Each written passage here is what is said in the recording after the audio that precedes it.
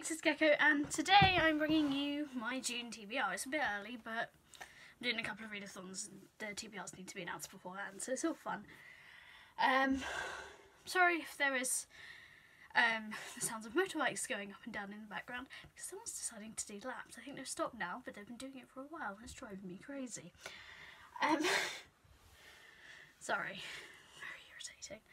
Um, so, I've got my notebook here and it tells me what I'm doing. Okay, so first of all, I'm doing the Myth Take, Make Your Myth Taker, I think it's called, readathon in June.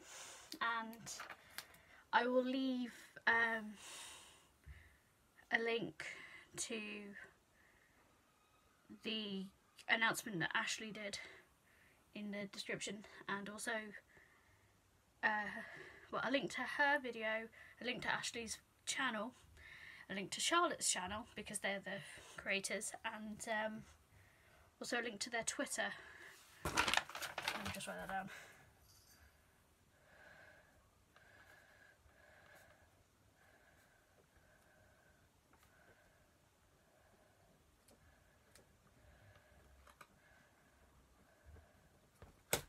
Okay, and for that, there's different um, paths you can take and you have to do them in order. There's a whole thing.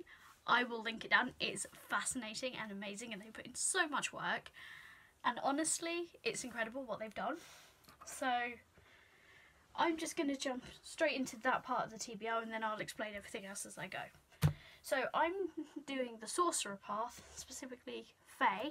You get to build a character, it's a whole, it's so cool.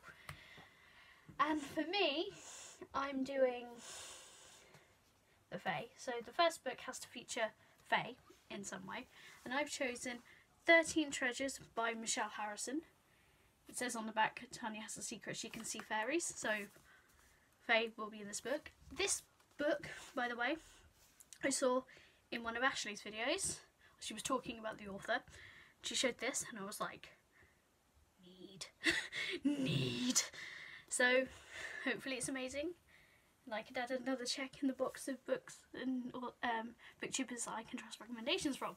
But I'm very excited. All I really know is it's a creepy old house. There's a mystery. Someone went missing and she's got to find out what happened. And it's a middle grade, so it's like that. But so pretty. I mean, look at the detail on that cover. The spine. Everything's so pretty. And I really love that. Pretty covers go a long way with me. The next book on my TBR for this challenge, readathon, is a foiled cover. Now, it also says shiny cover, so any bit of shininess. So I went with this, Ink, by Alice Broadway. Look at that. I just... Look at that, how reflective that is. That is hideous. I do apologise if I blinded you there. But this, very, very pretty cover. And there's absolutely nothing written on the back apart from the truth will get under your skin.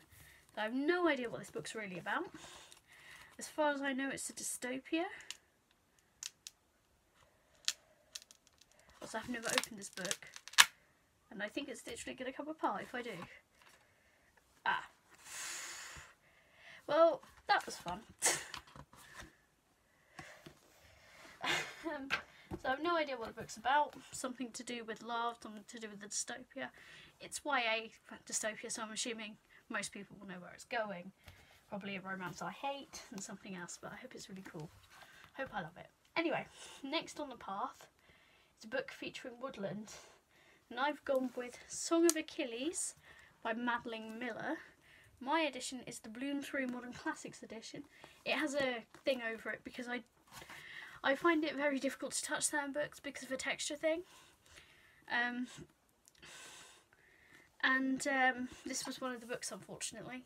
So it looks like, also just looks like it's a library book because they've got the same cover. But this is mine, um, I promise. Um, and as far as this is a retelling of the Achilles myth, or Achilles, something probably to do with the Trojan War, I guess. Yes. Uh, Greece and of Heroes. Yeah. So this is to do with the Trojan War. I'm not particularly um, up on Greek mythology, but I read Circe and loved it, so I'm hoping this one will be just as amazing. Why did I put that one that way? That's not helpful. Next, I have to read a book outside of my comfort zone, and that brings, and that's the final book on the TBR for the myth take, but it's also the first book on the TBR for the Olympic Games that I'm doing, which is inspired by Percy Jackson, and I'm Team Athena. So, someone said, um, you know when you read and people are like, you're a reader. I have books I don't want, and you're like, yay, free books, and then they give you books, and you're like, that's I'm never gonna read that, but thank you, and you've got to be nice. Yeah. Um. This is outside of my comfort zone. This is Cinderella and the Cowboy by Judy Christenberry. Chris Christenberry. It is a Mills and Boon Harlequin romance. And honestly,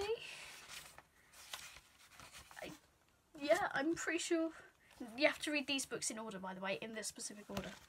So this will be, this is what, 249 pages long. I'll be sure to read that very quickly. So this will probably be one of the last books I read in a month because I've got quite a few books on here that are quite long that I can and these ones you can read in any order for the Olympic Games. This one will be one of the last ones I read because I'll be putting it off as long as humanly possible because quite frankly who wants to read this? Sorry if you're a fan of Mills and Boon. Gecko, nobody who's a fan of Mills and Boon is going to watch your channel.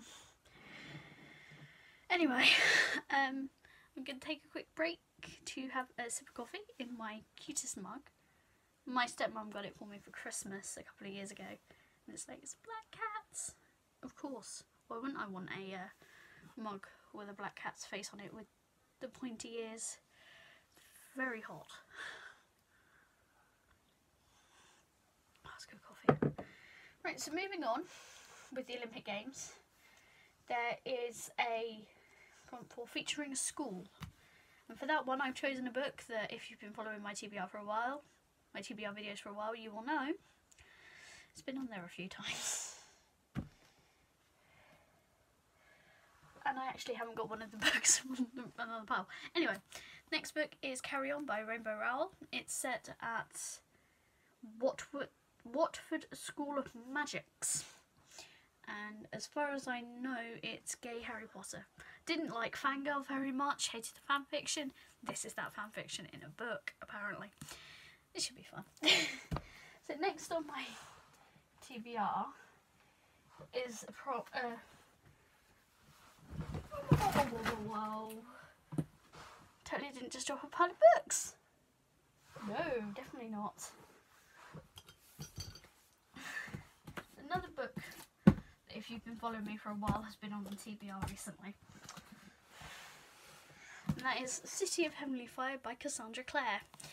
Uh, it's not the longest book on my TBR, but the longest book on my TBR is War and Peace, so it's good enough.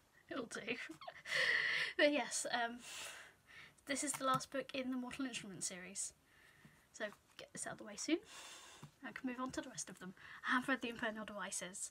Literally because of that, the epilogue of Clockwork Princess is the only reason I'm reading this. I need to know. So yes, very fun. Um, next on the list is read a book by your favourite author. Now, my favourite author is PC Cast. She's amazing and I love her to pieces. So, I've gone with Divine by Mistake, or Goddess by Mistake, it's the same thing, as far as I know, which is the first Goddess of Partholon novel. Oh, I don't know anything about this. All I know is PC Cast wrote it, and I'm probably going to love it. I've read her, some of the Goddess Summoning series, and they were amazing, so I'm really looking forward to reading this one. And this is 571 pages kind of looks the same length as the book, the 700 pages, but here we go. And finally, for the Olympic Games TBR, part of the TBR, we have to read a book with a bird on the cover. So for that one, I've chosen The Near Witch by V. Schwab. That is the bird on the cover. I have no idea what this is about.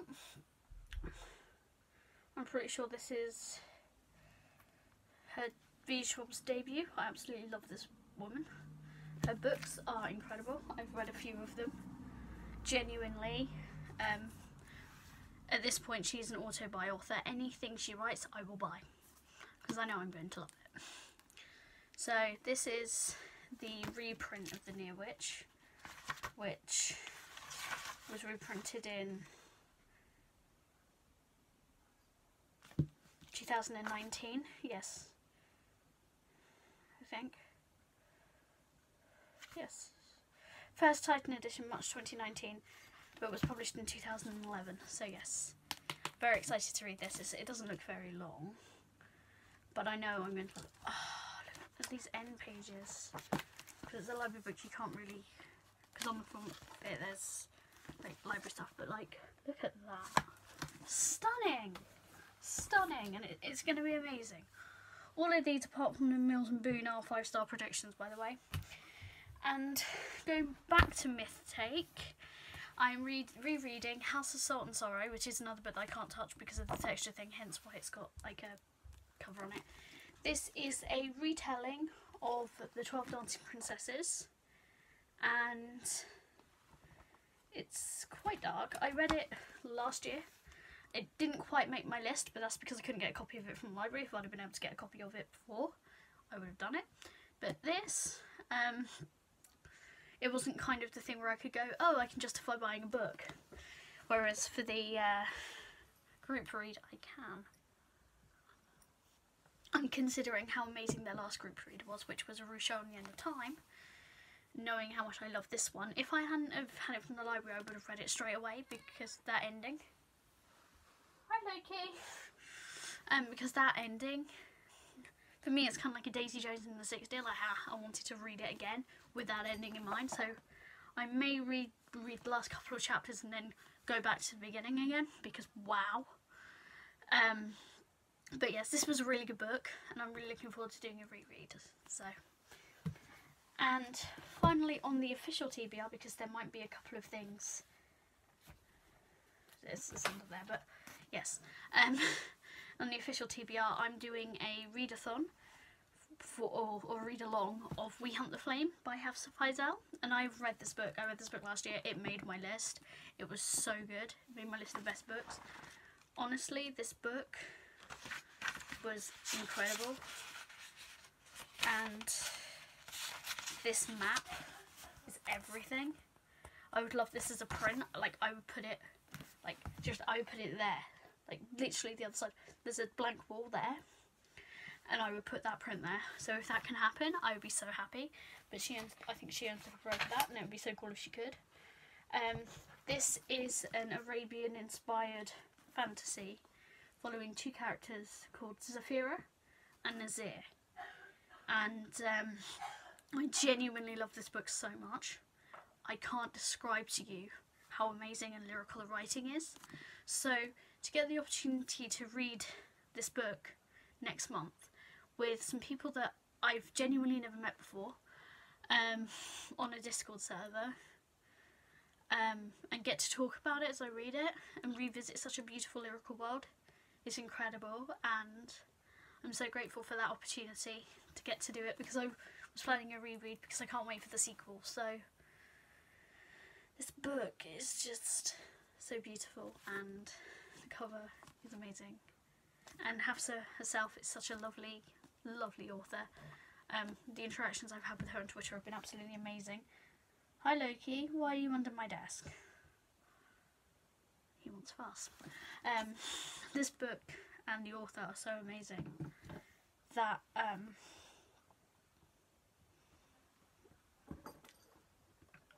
I'm truly, truly grateful for the opportunity to revisit this. Um, and it will probably join the ranks of one of my favourite books of all time. Second time I read it because it's so beautiful. And at least this point I won't have to be worrying like, what does this book might mean? Because there is, because a lot of it, some of it is written in Arabic, there is a pronunciation guide and glossary in the back and how to pronounce their names and the places. So that's fun. But yes, so that's the basic part of my TBR. Um, there is an additional part to the Olympic Games, two of which I haven't managed to find suggestions for, and the third one I uh, the two of the four I have. Um, so I'll just run through them very quickly. The two I haven't got um, books for at the moment and probably won't do are Sword and Shield, which would be a character you would not get along with, and Monster Hunter, which is a book with a magical creature. I'm sure I've got hundreds of books with magical creatures in them. I just haven't like thought about it enough yet. Read a book published in the last five years for Pegasus riding would be City of Ghosts by V. Schwab or Victoria Schwab under her middle grade name, which I'm very excited to do. Um, I need to buy the th- second one, but I am going to pre-order the third one because I'm already convinced it's going to be amazing. And most anticipated book would be hi Loki, not Loki. Here? Would be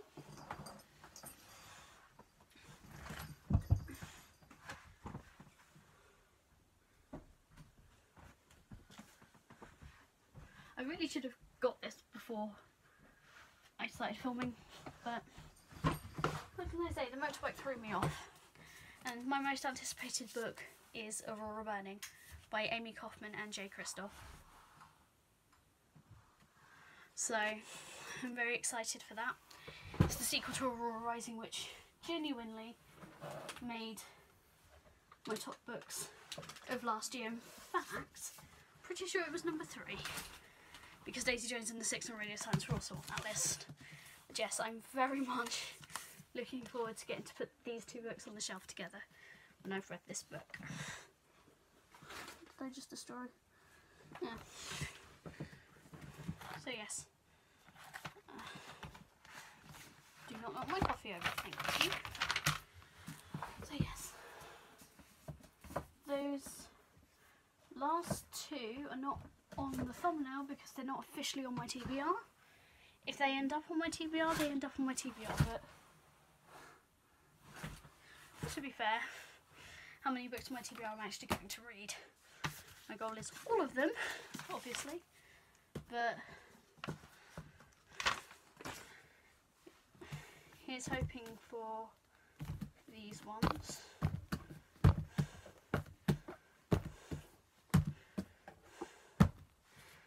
I'm to read books. It's doable, um, providing my hatred for Cinderella and the Cowboy doesn't put me in a reading slump. But yes, But yes, this is my June 2020 TBR.